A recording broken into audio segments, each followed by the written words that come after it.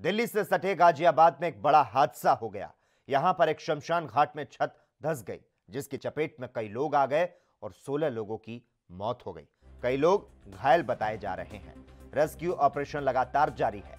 जान लेने वाला यह हादसा गाजियाबाद थाने के मुरादनगर इलाके में हुआ है।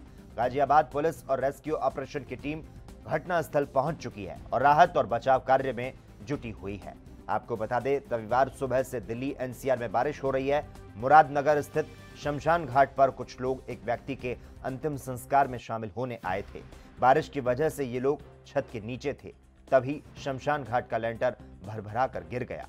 इसमें कई लोग मलबे में दब गए। इस घटना की जानकारी मिलते पुलिस और एनडीआरएफ की टीम मौके पर पहुँच गई।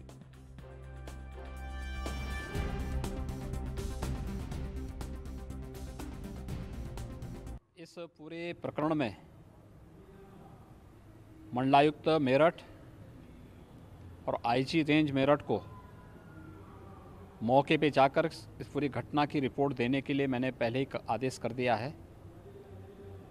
जिलाधिकारी और वरिष्ठ पुलिस अधीक्षक गाज़ियाबाद मौके पर हैं, राहत कार्य कर रहे हैं और मैंने उन लोगों से स्पष्ट कर दिया है कि राहत कार्य में घायलों को तत्काल उपचार कराने के साथ ही इस पूरी घटना की रिपोर्ट वे तत्काल प्रदेश शासन को उपलब्ध करवा दें, जिससे इस दुखद घटना के पीछे के कारणों को जाना जा सके और इसमें जिम्मेदारों की जवाबदेही भी सुनिश्चित की जा सके।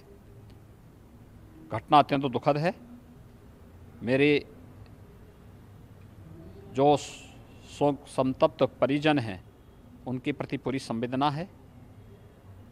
जो घायल हैं, उनके शीघ्र स्वास्थ्य की भी कामना मैं करता हूँ।